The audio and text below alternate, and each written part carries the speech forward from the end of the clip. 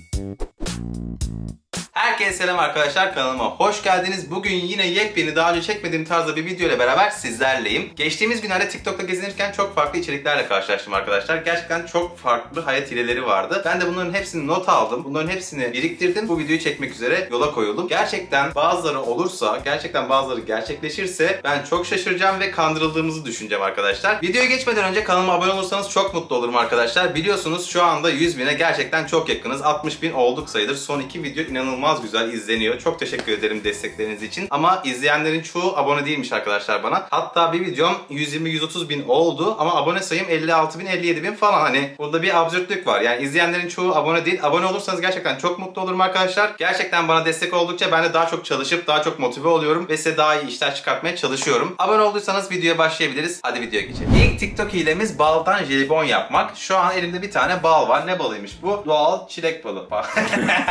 Doğal Doğal çiçek balı yayla diyor. Sıradan bir bal aslında bu. Bunu buzluğa atacağız ve 1-2 saat bekleyeceğiz arkadaşlar. Yani videonun sonlarına doğru gerçekleşir diye düşünüyorum. Hadi hemen atalım hiç beklemeden. Hatta şuradan atıyorum. Buzluk da burada zaten.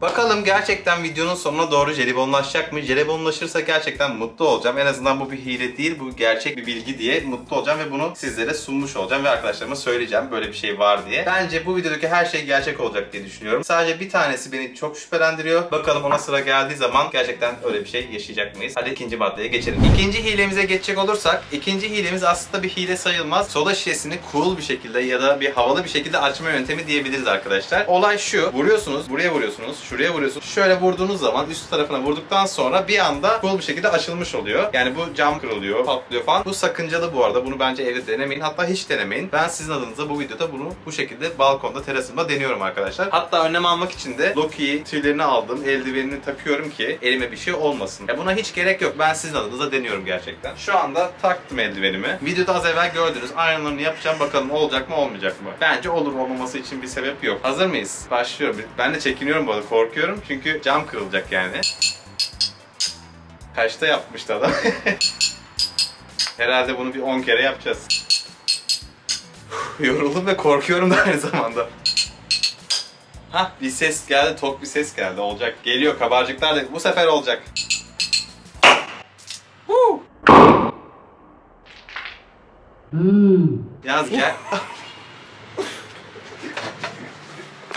Çok fazla ses çıktı gerçekten arkadaşlar. İnanılmaz derecede korktuğum için içeri geldim. Herkes dışarı bakacak diye korktum. Gözükmek istemedim orada. Şu an gördüğünüz üzere cam kırıldı ve çok güzel bir şekilde açıldı yani. Ama bu şekilde içilmez tabii dudağınız kesilir. Bunu denemiş olduk. Çok korktum denerken. Ben sizin adınıza denedim. Gerçekten de oldu. Vay be. Şimdiki hilemiz double kremalı Oreo'yu 2 lira farkla değil bedavaya daha da büyük hale getirmek gibi bir hile arkadaşlar. Zaten şu anda videoyu izliyorsunuz. Gerçekten pipetle süt üfleyerek bunu yapmışlar ve olmuş. Ben de burada düzeneyi hazırladım. Bunu denemek üzere yola koyuluyorum. Oreo'yu görüyorsunuz şu anda. İnceliğini görüyorsunuz değil mi? Hatta bir tane daha çıkarttım. Öncesi sonrası yapmak için before after yapmak için ne kadar değişim olmuş göreceğiz. Pipeti alıyoruz. Sütün içine bandırıyoruz. Şu an birazcık süt aldım. Burada oraya kardeş var.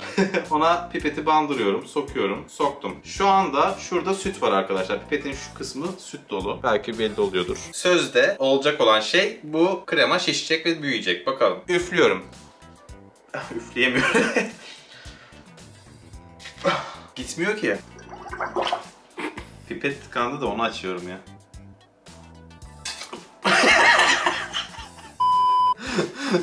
Bence bu olmayacak ya. Of. Olmayacak iş. Zaten double yani. Daha ne kadar double olabilir ki?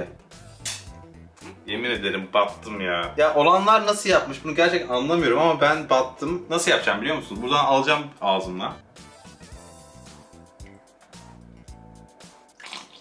Bu saatten sonra olacaksa da olmasın zaten. Olmuyor arkadaşlar. Hani buna inanmıştım belki oluyordur, emiyordur ve genişliyordur diye ama olmadı. Gösteriyorum. Sağdaki normal olan yani bu normal olan bu yapmaya çalıştığım olmadı. Hiçbir halta da yaramadı. Beni batırdı. Buna çarpı koyuyorum. De gördüğünüz üzere marshmallow'umuz var. Bu marshmallow'u mikrodalgaya atıyoruz. Mikrodalgaya attıktan 30 saniye sonra yani 30 saniye ayarladıktan sonra bir anda mikrodalgada bu genleşip kocaman bir hale alıyor arkadaşlar. Zaten şu anda videoyu siz de izlediniz. Yani ben bu kadar büyük olacağını düşünmüyorum ama deneyelim bakalım olacak mı? Bir tane hemen geldi elime zaten. Hemen görelim. Buyurun. Mikrodalgayı açıyorum. Bence bunu yüksek ateşte 30 saniye yapalım. Merak ettim ne olacak. Çok güzel koku geldi yalnız biliyor musun? Aşırı güzel. Bir kamp ateşi edası var bu kokuda. Oo! Sanki büyüyor ha. Öyle görüyorum az çok. güzel koktu. Büyüyor, büyüyor. Hadi. Wow! Yalnız çok güzel bir koku geldi ve çok güzel bir ısı geldi buradan. Yani çok büyümedi aslında. Şu an tekrardan bakın. Öncesi ve sonrasını yanına koyuyorum. Ya, abartı büyümemiş ama o şu kıvama bak, şu kıvama bak. Tam şu an kamp ateşinde şey yapılmış gibi. Elime de yapıştı. hmm. Size bir şey söyleyeyim mi? Net bunu deneyin. Gerçekten çok güzel. Ya büyümesini geçtim şu anda. Hiç umurumda bile değil büyümesi. İsterse şu kadar olsun. Tadı çok güzel oluyor böyle. Ve çok sıcak. Tam böyle yapış yapış muazzam. Çok güzel. Bunu deneyin. Bence bu hileyi büyümesi değil, lezzeti olabilir. Çok güzel. Şimdi de gördüğünüz üzere buraya bir düzenek hazırladım. Tabağımız, haribomuz ve pipetimiz bulunuyor. Buradaki olay da jelibonları tabağa koyup yine mikrodalgaya 30 saniye koyuyorsunuz arkadaşlar. Zaten şu an izliyorsunuz. Mikrodalgada ısındıktan sonra pipetle beraber üflüyorsunuz ve baloncuk çıkıyor. Bakalım olacak mı? Yapanlar olmuş diyor. Ben bunu kanıtlayacağım bu videoda. Yine son sıcaklıkta 30 saniye işimizi görür diye düşünüyorum. Oo, erimeye, kabarmaya başladılar bir de. Çok güzel koku geliyor bu sefer. Oreo'dan daha güzel bir koku oluştu. Yani ev şu anda şeker cenneti yani. Gerçekten fabrika gibi koktu yani. Şeker fabrikası burası şu anda. Of of of of of ne güzel kabarıyorlar. Çok merak ettim. Vay canına. Hiç beklemiyordum. Şuradan da biraz alayım. Biraz yeşilden, biraz kırmızıdan. Mutlu ağaçlar çizelim şimdi buraya. Çok garip bir görüntü oluşuyor. Biraz daha fazla alacağım. Bu nedir ya? Bu nedir? Tadı nasıl onu merak ettim bir de. Aa, aa dudağım yandı. dudağım yandı. Oo şu an çok fena yapıştırıcı gibi. Oo örümcek ağı resmen. Bence bunu denemeyin arkadaşlar evde. Yani yalandan birazcık balon çıkıyor diye hiç gerek yok böyle bir şey. Hem dudağınız yanıyor yer, yemeye çalışırken hem de saçma. Tabak kirleniyor, ev kirleniyor, ev şekerleme kokuyor. Saçma. Hala dudağımda şeker var. Ya sakız şeyi gibi aslında ya. Sakız çiğneyip şişirip böyle baloncuk yapmış gibi oluyorsunuz. Yani manasız bir şey. Yani okey oluyor. Hileye layık bir şey değil ama oluyor mu oluyor. Ama denemeyin bence. Saçma bir şey. Baksanıza şurada. Yani sanat eserik bir görüntü var. Güzel bir görüntü var ama rezillik yani. Gerek yok bence. Hadi son kez. O kadar yaptık. Şöyle fazla fazla alayım. Yapmayın. Yaptırmayın. Yaptıranlarla da konuşmayın. Şu an ellerim iyi kötü beğenmedim ama oluyor. Şimdiki ilemiz fişteki bilgileri yani yazıları silmekle alakalı arkadaşlar. Bir tane dezenfektan gerekir ama jel olması gerekiyor. Kolonya gibi sıvı değil. Biraz daha böyle katı kıvamlı. Gösteriyorum nasıl yapıldığını. Sallıyorum şu firmanın üstüne döktüm. Parmağınızla şöyle... Oo gerçekten gitti. Bu kadar hızlı ve işe yarayacağını hiç düşünmemiştim. Ben bunun hepsini yok etmek istiyorum. böyle bir kanıt bırakmak istemiyorum. Böyle bir alışveriş yaptığımı göstermek istemiyorum. Yok etmek istiyorum. Vay can.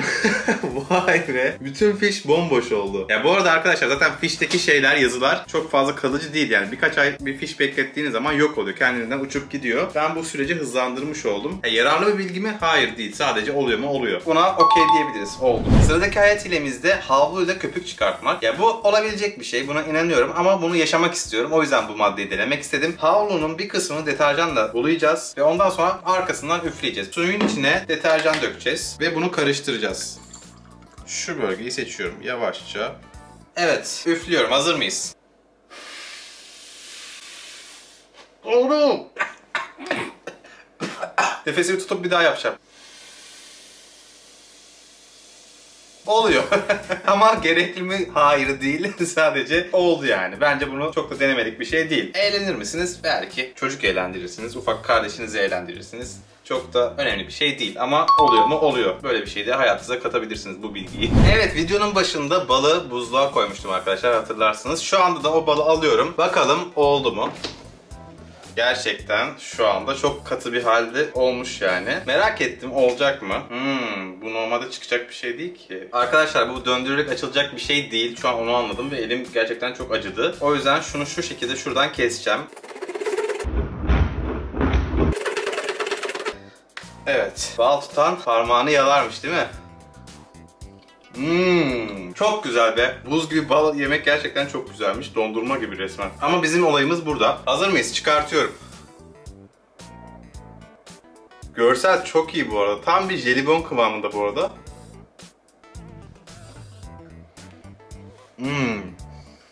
Mutlaka buzluğa koyun arkadaşlar ve bunu deneyin. Çok güzel oluyor.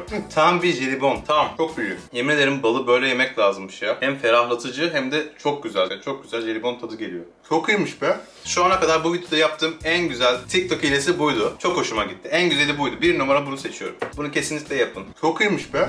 Evet. O beklediğiniz hayat hilesine geldik. Şu an McDonald's hayat hileleri deneyeceğiz arkadaşlar. İki tane hayat hilesi var. Bunlardan bir tanesi beni gerçekten çok üzer. Eğer doğruysa. Ama ilk önce beni mutlu edebilecek ya da beni nötr bir etki yaratabilecek olanı deneyeceğiz. Soslar.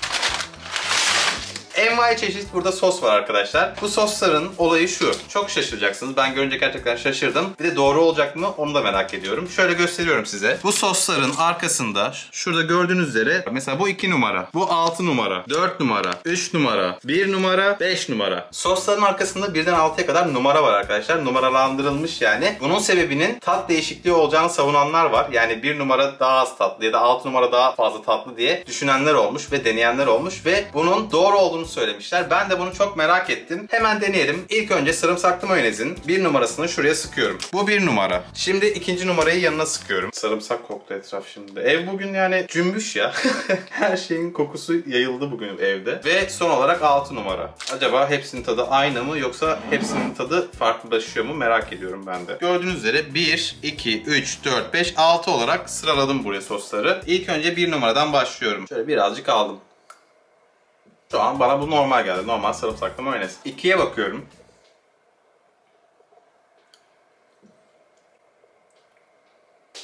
Yani şu an psikolojik mi bilmiyorum. Daha baskın bir sarımsak geldi bana. 6'da çok rahat anlarım diye düşünüyorum. 3'e bakalım. Bu 2 ile biraz yakın. 4'e bakıyorum. Aa. Tat baskınlaşıyor gitgide yani gerçekten o sarımsak özü müdür yoksa sirkenin mi baskınlığı bilmiyorum. Tat gitgide baskınlaşıyor arkadaşlar. 5'e bakıyorum. gitgide artıyor tat şeyi. Sırada 6 var. 6'yı alıyorum. Merak ettim. En değişik olacak olan bu normalde. Birden 6'ya kadar gittim. Allah Allah. Yani psikolojik mi hiç bilmiyorum. Yani psikolojik olup olmadığını farklı tatlarla deneyeceğim. Ketçap sallıyorum, acı sos bunlarla anlayacağım. Ama şu an birden 6'ya kadar gerçekten o oran artmış gibi hissediyorum. Yani resmen sarımsak ya da sirkenin yoğunluğu arttı gibi hissediyorum. O yüzden şöyle bir şey deneyeceğim. Şu an bir numaradan alıyorum.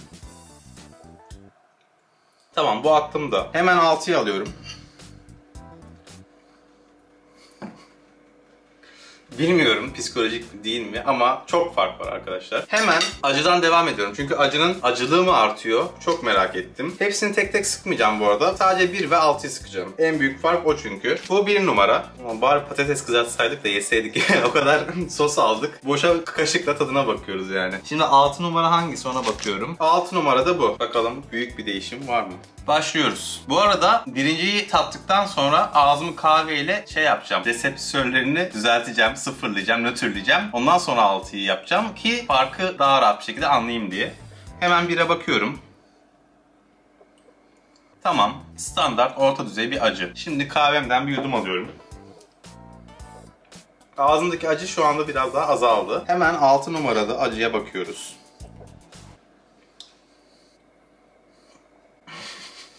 Ya anlayamıyorum. Gerçekten hani size yalan söylemek de istemiyorum ama resmen daha acı. Bir numaraya göre 6 numara daha acı. Son kez bunu ketçapla denemek istiyorum. Eğer bu da oluyorsa bence bu doğrudur arkadaşlar. Şu an ketçapın bir numarasını sıkıyorum. Bu arada ketçapla da şunu bekliyorum. Tat farkı yani daha tatlı hale gelebilir mi? Şu an bir numarasını sıktım. Bir de 6 numara var. Bakalım. Eğer bu da olursa bu beni çok şaşırtacak ve bundan sonra fast foodçulara gittiğim zaman bu düzeylere bakarak soslarımı alacağım. Onlara diyeceğim ki ben 6 numara sos istiyorum arkadaş.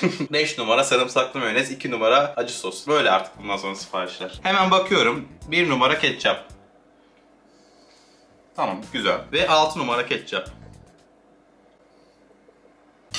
Şaka gibi ya.